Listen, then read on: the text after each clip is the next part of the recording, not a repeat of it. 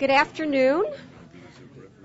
I'm Tara Sonenshine, Executive Vice President here at the U.S. Institute of Peace, and it is my great honor and privilege to welcome you to the official launch of American Negotiating Behavior by Richard Solomon and Nigel Quinney.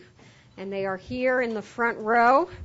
And I note that the second line of the book says Wheeler Dealers, Legal Eagles, Bullies, and Preachers. But if you want to find out which of the two of them fall into any of those categories, you have to buy the book. Um, and it also has a foreword by Madeleine Albright and Condoleezza Rice.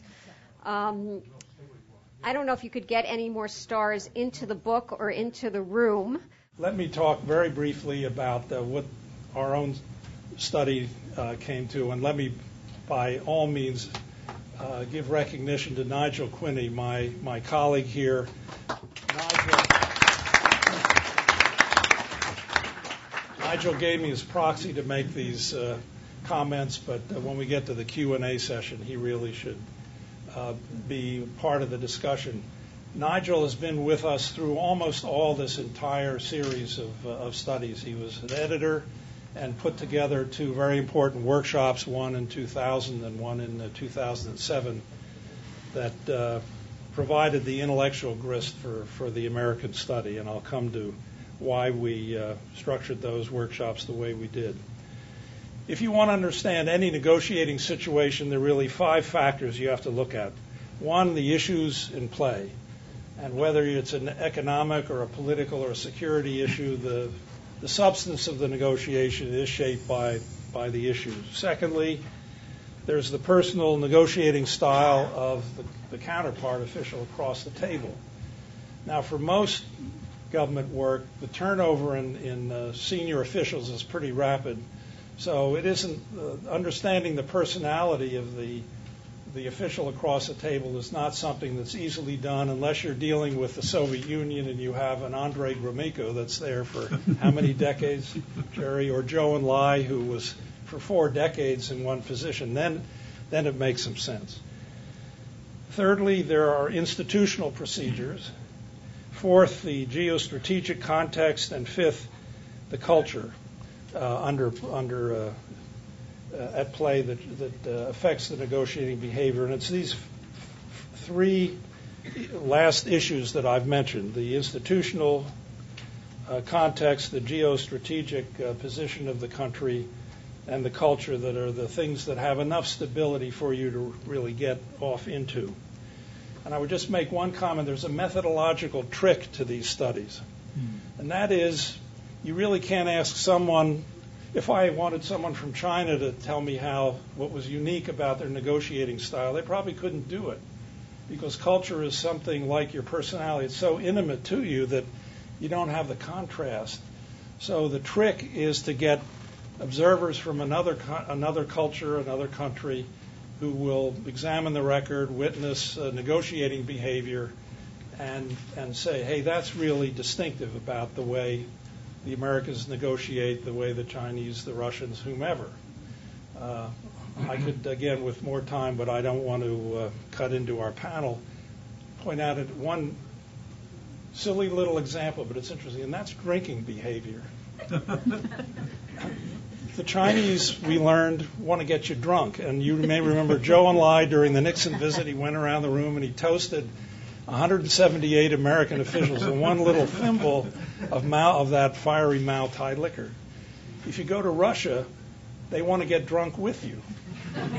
I'm serious, and uh, I've had that experience. And uh, if you go to France, they want to impress you with uh, the high culture of their their wines, their viniculture. And we could go on.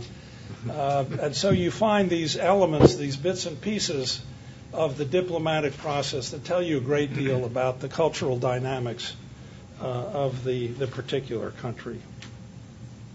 Well, it was in that context that uh, we asked over 50 foreign officials to uh, come together in these workshops and to tell us how they saw us as negotiators.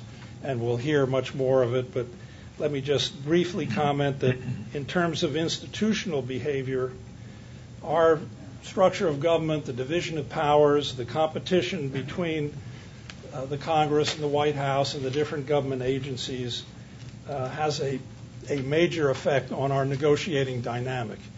And as Chan Heng Chee points out in her chapter, and we've heard from many others, Americans mostly negotiate among themselves. It's the interagency process that takes up 80 or 90 percent of the effort of any given of any uh, given official. But then there's the power of the presidency. The president is the leader, and he really does set the tone, uh, either providing strong guidance and oversight of the negotiating process, or in some. Uh, and the Nixon administration was a good example of tight control, or the contrast, Ronald Reagan, who was pretty much uh, hands off and let his officials do the negotiating. And that has a big effect on the character of the interagency process. Election cycles have a major effect on negotiating. Our, our officials feel under a real time constraint. That they know they only have four or maybe two years in which to achieve something, and so they're under uh, a time pressure that uh, countries that don't have that electoral cycle don't don't feel. And finally, one aspect of our system is what might be called lateral entry. Our foreign service, our our diplomatic activity brings in uh, senior people, some political appointees, some brought in uh, into the foreign service with a, var- a variety of uh, professional experiences, lawyers, businessmen in particular, academics. And one of uh, the key points that Nigel emphasized in, in his contributions to the book is that we come across as having four distinctive facets.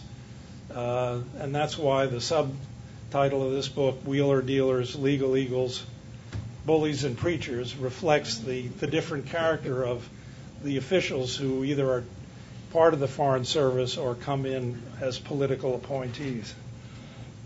in terms of the geostrategic context, it's clear that uh, we're seen as a superpower, and uh, to the discomfort of our own people, we're seen as uh, at least hegemons, if not bullies. And finally, there's uh, on the cultural side, sorry, can I steal somebody's unopened water? Thank you, Tommy. We'll get you another one.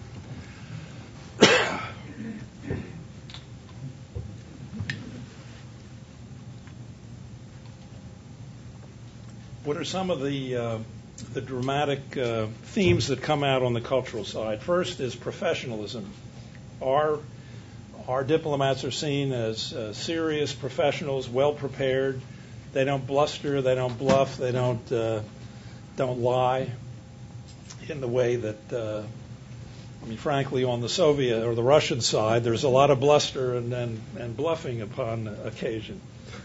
Uh, where our diplomats are seen as pragmatic, as results oriented, interested in solving problems. We have a transactional style of negotiating rather than a relationship building style of diplomacy, which is, in the case of the Chinese and particularly the Japanese.